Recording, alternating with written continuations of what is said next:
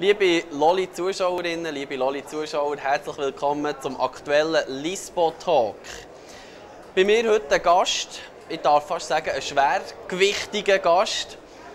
Er ist ähm, ein Meister in einem Fach, das ihr nach wahrscheinlich zwischendrin sogar anschauen wenn ihr Urschweizer seid. Und zwar ist das Christian Stocki.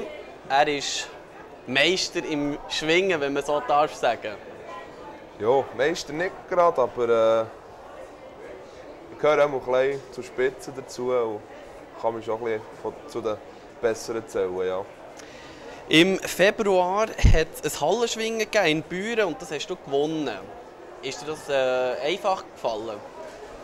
Ja, also einfach gefallen ist es nicht gerade, aber ich habe noch Gang verloren und dort ist ein bisschen Pech dazu gekommen, dass ich den Gang verloren habe, aber sonst ist eigentlich dort relativ gut gegangen.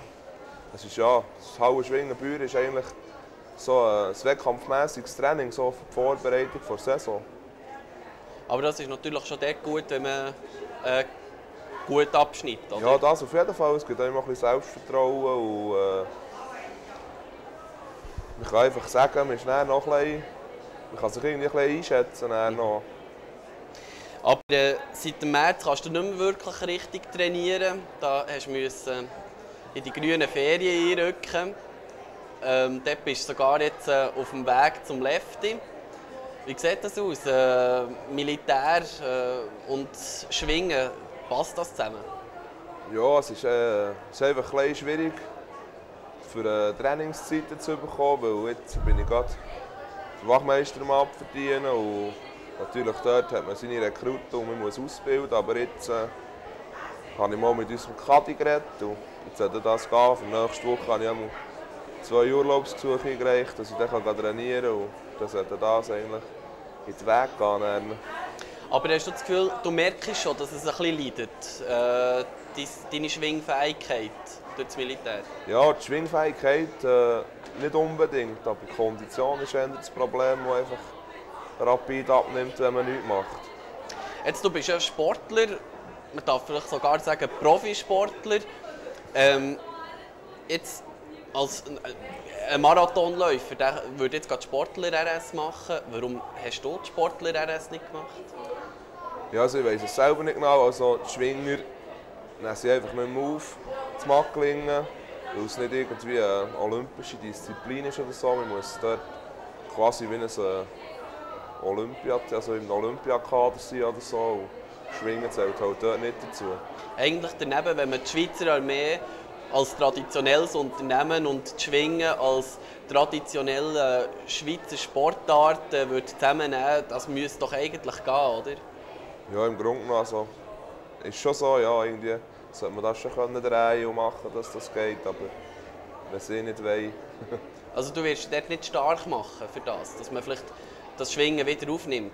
Ja, also sie haben mal darüber gehabt, dass man das Schwingen dann wieder aufnimmt, weil bis etwa vor vier oder fünf Jahren ist es noch gegangen und dann haben sie es abgeschafft.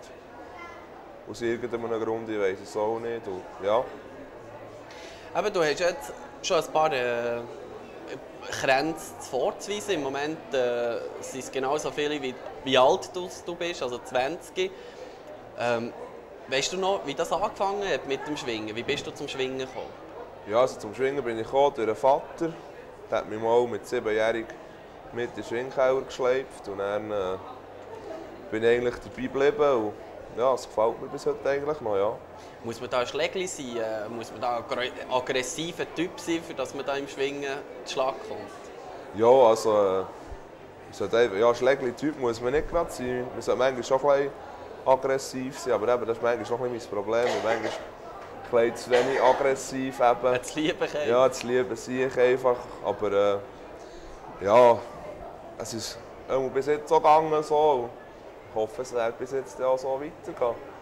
Was würdest du so sagen, was sind so die Grundvoraussetzungen, damit man kann schwingen kann? Ja, das sind Grundvoraussetzungen. Natürlich ein bisschen, äh, Postur sollte man schon haben. Ja, also, es gibt schon magere Schwinger, aber jetzt, wenn man so schaut, der Durchschnitt von einem Schwinger ist sicher so bei 90, 90 Kilo, ja, dort rum. Und natürlich so 75 Kilo, 70 Kilo sind natürlich schon nicht so viel. Und dann natürlich auch ein bisschen Talent braucht es auch.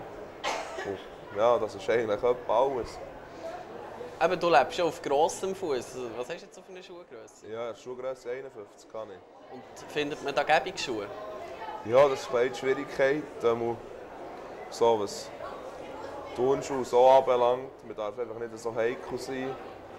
Man kann einfach dann nicht immer die Schuhe nehmen, die einem passen. Man muss einfach die nehmen, die gehen. Und der, der Kleinste bist du ja nicht gerade. Also du hast eigentlich immer den Überblick, wenn du irgendwo in eine Menge reinlaufst. Äh, jetzt knapp 2 Meter sind es. Mhm. Und dazu ein Lebendgewicht von 140 Kilo. Ja. Ähm, ist das ein Vorteil beim Schwingen, wenn man eben über so Extremmaß äh, verfügt? Ja, teils, teils natürlich. Eben, die Größe ist schon ein Vorteil, das Gewicht, aber eben, manchmal ist es doch ein, bisschen, äh, ein Nachteil. Man wird einfach ein bisschen, äh, soll ich sagen, man, wird einfach, äh, man ist nicht so schnell wie die anderen natürlich, wenn man dann einfach ein bisschen schwerfälliger auf den Beinen und die anderen sind dann vielleicht ein bisschen flinker oder das kann es dort mal geben, dass man irgendwie verliert. Ja. Das Militär ist irgendwann ist zu Ende. Du, äh, dann willst du wahrscheinlich im Schwingen wieder Fuß fassen. Äh, was hast du für sportliche Ziele gefasst? Was, Unspunnen ist ja so ein Thema, nehme ich an. Ja, das auf jeden Fall. Und eben, wie gesagt, das Militär kommt einfach dort ein bisschen dazwischen, aber äh, ich schaue das Beste zu geben und einfach probieren, dass ich an das Unspunnen schwingen kann gehen. Dann wird dann auch noch selektioniert natürlich, aber äh, wenn ich ein mit davor bin, kann ich auf jeden Fall gehen und ja, dann sieht man dann am Unspunnen, wie viel wert ich bin. Wie siehst du deine Chance in diesem Fall? Ja, also eben jetzt mit dem Training und so ist natürlich schon ein kleines Problem, aber äh, ich probiere einfach das Beste zu geben. Aber äh, es kann dann sein, dass ich irgendwie hinten ab bin, aber es kann dann vielleicht auch gut sein, dass ich dann gleich mal unter den ersten 10 bin. Was, sind so, was, was würdest du sagen, was sind so deine letzten drei grossen Erfolge? Ja, die letzten drei grossen Folgen natürlich das Eidgenössische zu Luzern, der dritte Rang, dann der Sieg Schwarze schwingen, schon nicht so üblich, mit 19 dort schon zu gewinnen. Und dann natürlich noch ein Sieg am Südwestschweizerischen, also das Ausserkantonal, das Teilverband Schwingfest. Was steht jetzt für dich als nächstes an? Also, wie, wie willst du weiterfahren? Was hast du geplant? Ja, geplant ist, habe ich eigentlich noch nichts Grosses. Also natürlich das Schwingfest, dann, wo es fährt die Aussensaison wieder an. Und da ist das erste, wie es mir ist, irgendwie im Juni, im Juni, am 5. Juni, glaube ich. Das Arberg Zeeländisch ist, glaube ich, mein erstes, das ich draussen mache. Und ja, dann dürfen wir auch schauen. Jetzt tust du, ja, äh, du bist glücklich vergeben. äh, wie, wie steht deine Freundin dazu, dass du schwingst? Oder zu deiner Schwingertätigkeit? Ja, manchmal, was soll ich sagen, sie ist schon, sie ist eigentlich meistens dabei. Aber manchmal ist es einfach so, wenn ich einfach muss, trainieren muss. Letztes Jahr im Winter bin ich wirklich viel vor. Gewesen. Und dann hat sie mir schon manchmal gesagt, ja, sie wird mich ein bisschen mehr sehen, so, aber eben, manchmal geht auch der Sport vor, vor der Freundin. Aber äh, jetzt bin ich auch im Militär und sie sehen noch nicht so viel, das geht auch. Also, ja. Gut, also dann wünsche ich dir auf deiner weiteren Tätigkeit als Schwinger ganz, ganz viel Erfolg. Wir werden das sicher im Auge behalten, Ja. was da passiert mit dir. Und ich denke, äh, ja, vielleicht in einem Jahr oder so hockst du wieder bei uns und äh, hast irgendwie wieder 20 Rennen oder so gewonnen. Wer weiß. Ja. Liebe Zuschauerinnen, liebe Zuschauer, ich danke euch ganz, ganz herzlich für reinzuschauen. Und ich bin sicher, dass wir uns das nächste Mal wieder an der Lisbo werden begegnen. Merci. Also, die Gesundheit in diesem Fall. Ja, Röstli.